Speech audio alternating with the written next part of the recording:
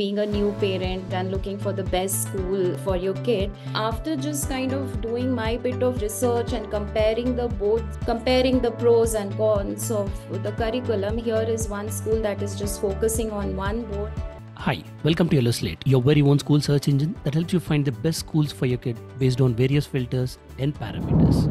Today, we have Ms. Sonal, whose kid is studying in the Sancta Maria International School, which is in Serlingampalli in Hyderabad.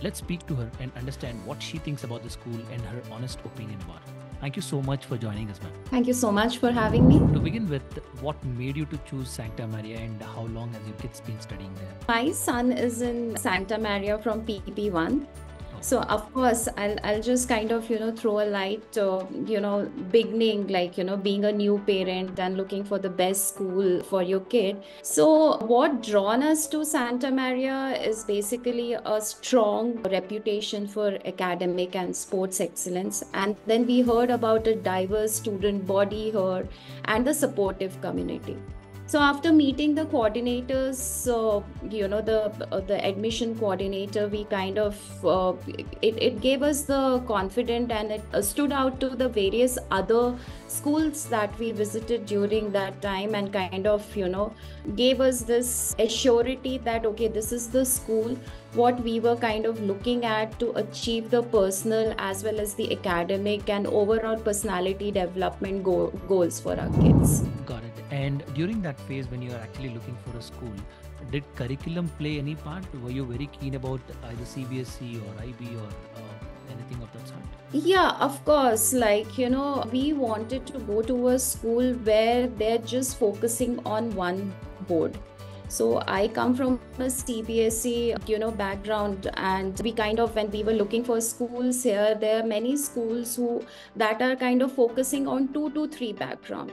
Now after just kind of doing my bit of research and comparing the boards, we were like, you know, okay, uh, I like Cambridge is the one we want, and then another thing is we want a school where they're just solely focusing on one board and sancta maria there they don't have any other board unlike other schools where they have ib cbse icse and all you know igcse and all that. They just had cambridge. So that kind of that okay after just deciding the board that you know we want igcse the cambridge board for our kid now the second you know filtration was that we want a school that is just solely focusing on cambridge.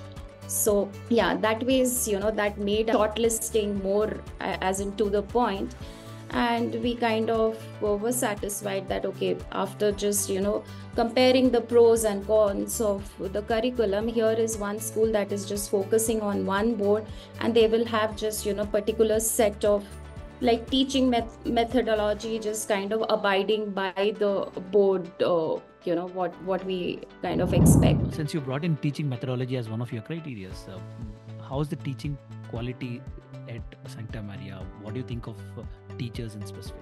Okay, so now I'll tell you, my son is there, I think, for last 10 years now in Santa Maria, and he's doing very well in academics as well as sports.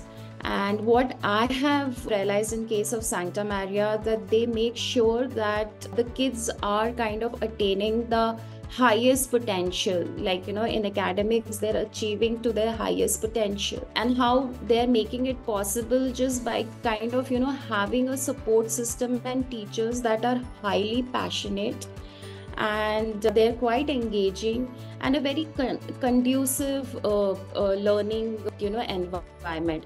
And because of all these reasons what i have seen that in case of my child like i'm a businesswoman and not able to give that much of time but without any external help or tuition or anything he's independent right from 7th grade so that kind of you know uh, tells you volume about the curriculum and the teaching pattern of teaching method of santa maria that's commendable at least from such an early age where now you have kind of access to all these you know multiple tutors and all that. And again they come back home and you know study from different teachers and all that. But the everything is so like you know the the concepts are being cleared in the school and the kids are quite independent from an early age.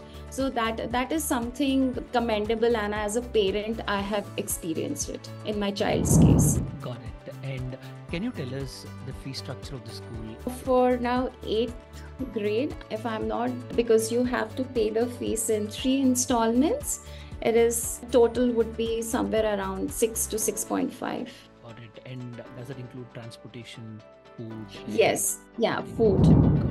And speaking about the management, uh, generally, how accessible is the management in case if you have any questions or concerns? Is it easy to reach out to them? Absolutely. In fact, one concern mail goes out to the school coordinator or the mid- middle school coordinator. The response time, I would say, one to two hours and promptness to act on it is very smooth and uh, they're quite you know hands on and they make sure that whatever the queries or the concern you have shared with the school it is addressed on time. They don't prolong it. So yeah the response time is they're quite good at it. Got it and you spoke a lot of nice things about the school but if you have to be really critical and tell us the area where the school can still get better at. What are those areas? See the thing is uh, right now it's so far the experience has been good. Now he's gonna now 8 onwards 9 onwards to be very candid now he's gonna appear for competitive exams and all that. There probably uh, since i have his learning has been good so far. The base is good. You know they are just kind of uh, you know the knowledge about the subjects and everything is good.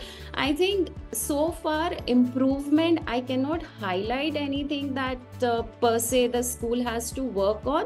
But yeah once the competitive exams he starts appearing for how the support system is how you know do they have any kind of special uh, classes to prepare the kids for all this those kind of stuff will really help it. I'm sure uh, see the thing is my my son is still in 8th grade so i'm sure they have it for higher classes in place this kind of system.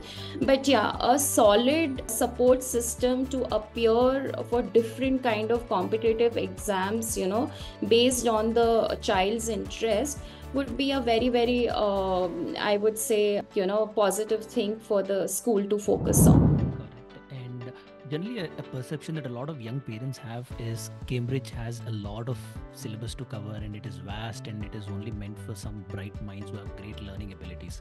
Is that really the case? Because i want to hear from a parent's perspective here. Uh, is it required for a student to get to come back home spend long hours to just understand the concepts and uh, have to go through a lot of pressure before the examination? Is that really the case? So far no so my son his grades are great and he's sailing through the entire the course the learning new concepts and all very smoothly. And i would give it to the school for just yeah even i heard it in the beginning. They said that oh maths english you know it's tough and tougher than cbse and all.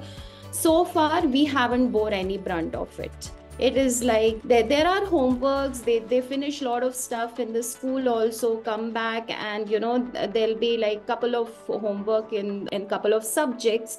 So uh, that is like even a one or two two hours of study is like they, they are able to finish it and then pursue their other interest in extracurricular activities. So there's ample time you know at the students disposal to kind of do or uh, carry out the other hobbies also. But you know having said that yeah i guess one to one and a half hour of study after school they generally kind of my son spends on finishing his homework which is in a way good. At least you are in the you know you're practicing those concepts every day. And that is one of the reason before exam like how i have seen uh, in you know my case like before board exam or cbse you are just a day and night studying. I'm seeing this generation to be very very you know casual about exams and taking it in a good stride which was not the you know same thing with our generation. That's very nice to know. Uh, a lot of parents are very keen about this fine balance between co-curricular activities and academics. In fact, I can go out and tell a lot of parents are more keen or they don't mind students more being inclined towards sports than studies also. So at Sancta Maria, how is this balance between the co-curricular activities? See, uh, that is what we like from day one. Like this, I'm talking about 10 years ago. You know, when we went and met the school uh, administration, they said that, oh, they strike a ba- good balance between sports and academics. And they actually kind of you know stood to what they said till date. I'm seeing that you know kids are they on day to day basis also they have classes for sport which is which is quite usual. I think it is common between all the schools.